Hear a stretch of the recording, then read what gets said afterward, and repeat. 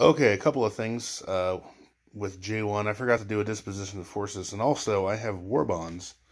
So I get to roll a dice and I get some money. So I will roll a dice and I get, hey, six more dollars.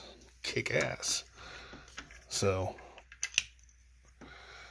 I will add six dollars, five, six to my stack.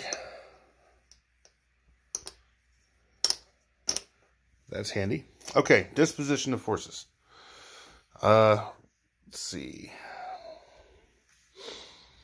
Right here we've got, in the Carolines, we've got two infantry and a AAA. Palau, we've got an, an infantry.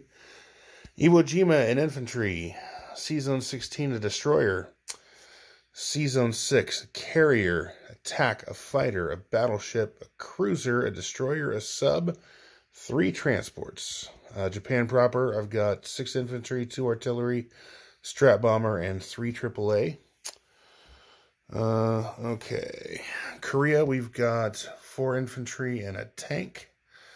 Uh, Manchuria, we've got six infantry, attack, a fighter, and a AAA.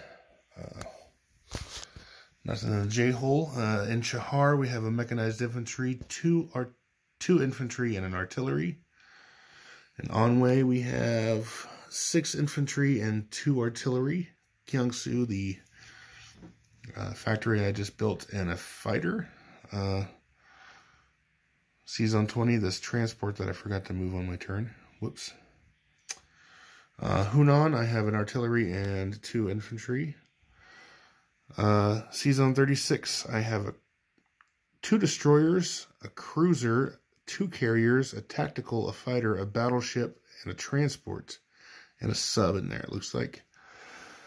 Uh, Kwangsi, I have one, two, three, four infantry, two artillery, and right here, signified by the chips, I'm going to take off.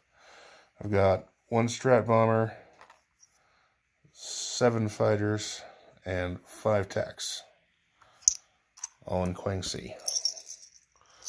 So that is my disposition of forces. Oh, I also have two infantry down here in Siam.